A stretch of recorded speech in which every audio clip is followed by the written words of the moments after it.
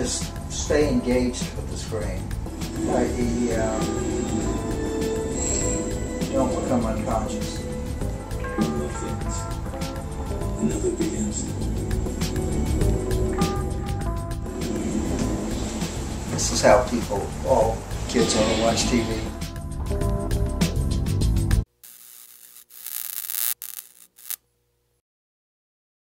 Well, it's this little amplifier here is picking up on her brain waves. Uh, there are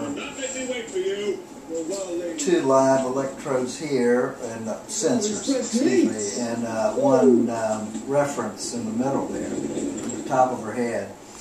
And um, These guys were army dogs. what it's doing is uh, it's actually driving the movie. Um, she has to, in order to watch the movie, keep the um, But out here, they just hired guns. reward band above this line and all the inhibit bands below.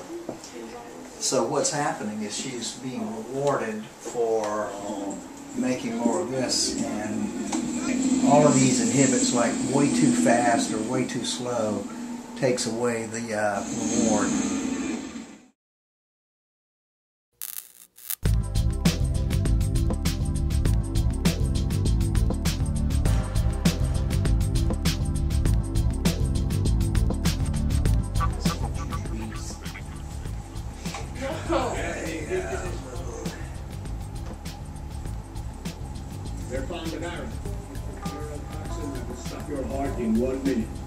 The other um, thing I wanted to mention is that actually the, the two channels, the two sensors are increasing the difference between these two sides of the brain.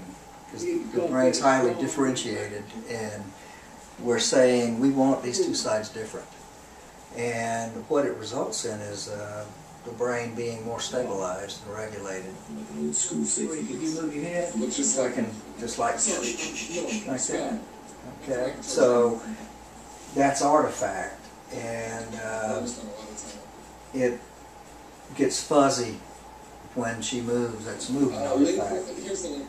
And EEG artifact is um, when the screen gets smaller. So she's actually controlling Old avatars. And The volume? Human DNA mixed with the, the DNA size of the related. screen, the clarity of the screen, and the vibration of the horse here. The Cool thing is that when I hook people up, their brain gets it automatically. The brain knows what it's doing. And then when I explain it, uh, it gets confusing and they don't do as well.